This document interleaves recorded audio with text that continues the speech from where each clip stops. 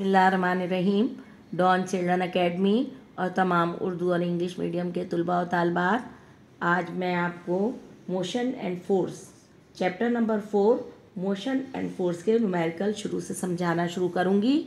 आप अगर समझना चाहें तो ये लेक्चर अटेंड कीजिए।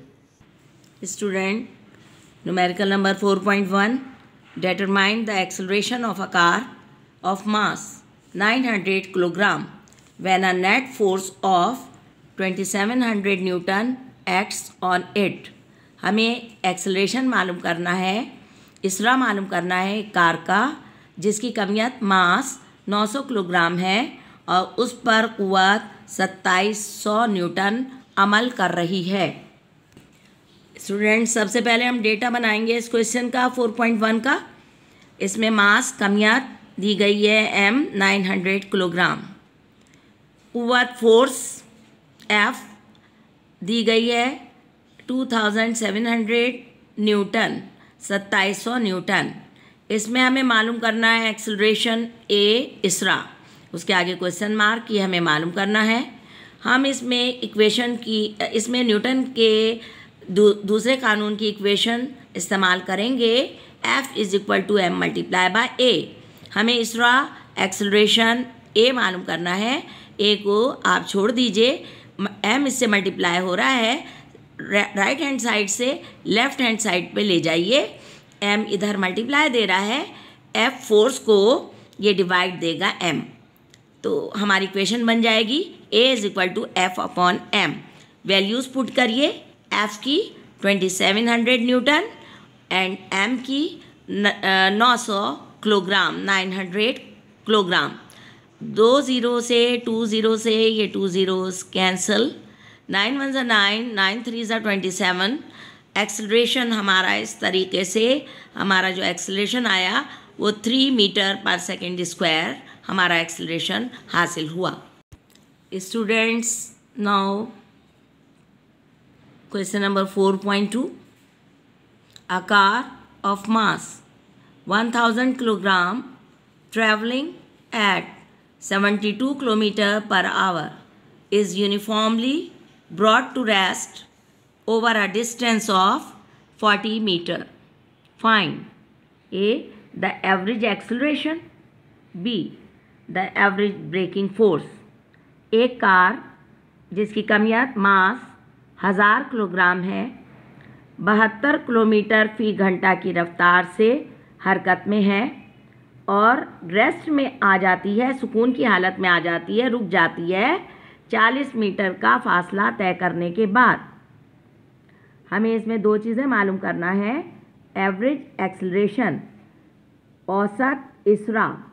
और दूसरी दूसरी चीज़ मालूम करना है एवरेज ब्रेकिंग फोर्स औसत रुक, रुक रोकने वाली कुवत। स्टूडेंट्स हम डेटा सबसे पहले बनाएँगे।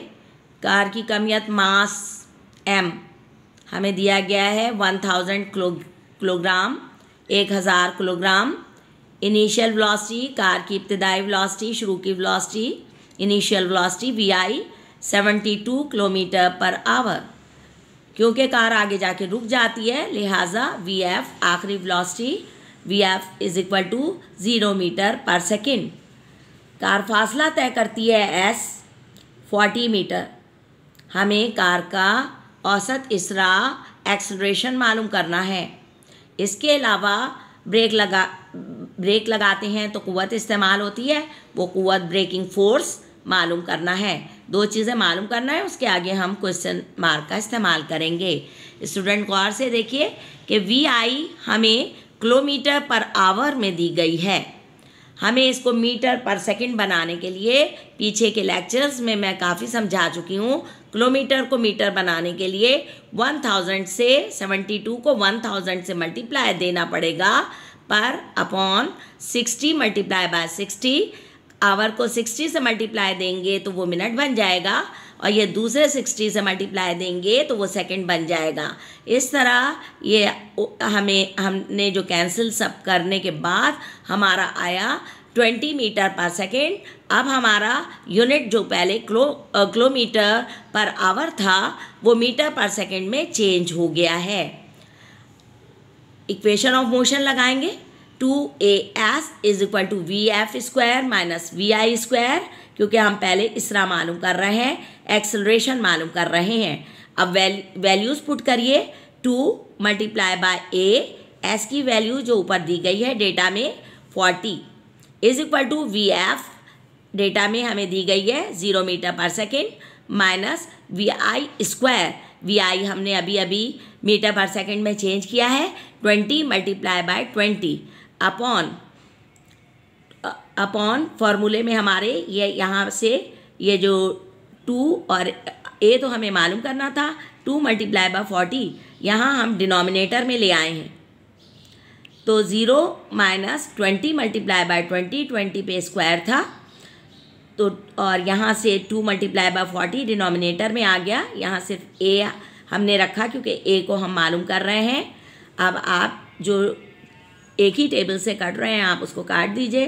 फोर वन ज़ा फोर फोर फाइव ज़ा ट्वेंटी एंड ज़ीरो ये ज़ीरो से कट चुका है।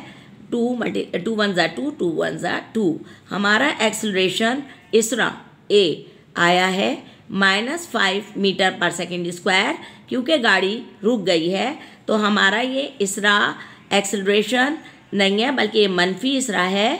अपता है और इसको डिक्लेरेशन भी कहा जाता है या रिटार्डेशन भी कहा जाता है।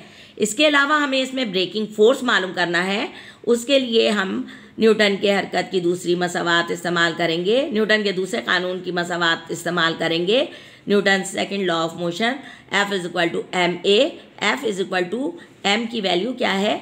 एम कितना है? डेटा में देखिए one thousand kilogram multiply by A हमने अभी अभी हासिल करा है minus five metre per second square thousand multiply दें फाइव से five thousand newton braking force हमारी आ गई फाइव थाउज़ेंड न्यूटन फोर्स का यूनिट होता है न्यूटन स्टूडेंट्स अगर आपको ये लेक्चर समझ में आया हो तो आइंदा हासिल, आइंदा वीडियोस हासिल करने के लिए डॉन चिल्ड्रन अकेडमी का चैनल सब्सक्राइब करें।